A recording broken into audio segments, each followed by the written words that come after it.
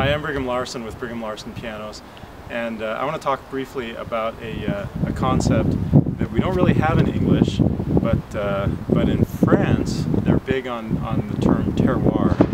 Um, I became fairly well acquainted with uh, with French cheese. I spent a couple years in France, um, and uh, cheese sort of became a hobby of mine, and the and the true cheese lovers and, and wine lovers. Of course, I, I didn't get to experience that, but uh, they, they would often talk about this idea of terroir, in which, in which true, uh, true cheeses, and they talk about their bread and their wine, that can only be created in one particular region.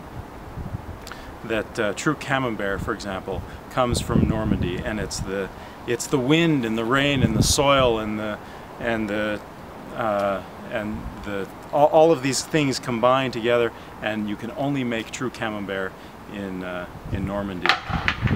And I want to I want to take that and apply that also to to fine pianos.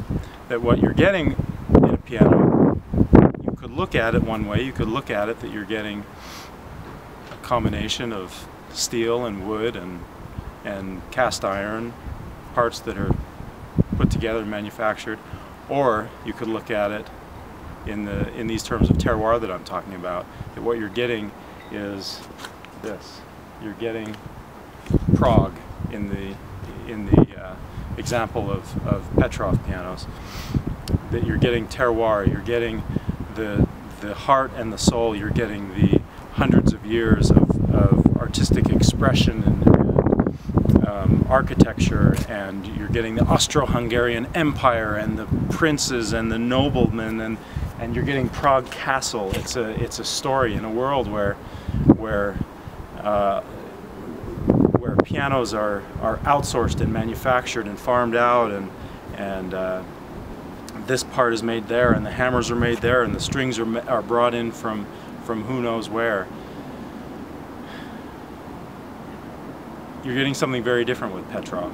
You're getting something that is manufactured 100% in this region.